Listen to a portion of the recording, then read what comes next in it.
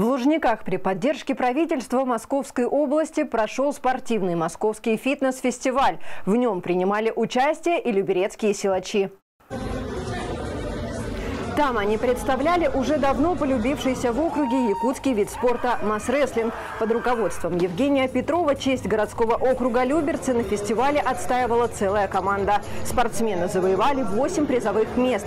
Так, вторые места заняли Вероника Домарадская, Владислав Альшанский и Вера Огонек. А третьи – Любовь Арцебашева, Станислав Касьянов, Глеб Богданов, Максим Мезин и Вероника Домарадская в своих возрастных и весовых категориях каждый.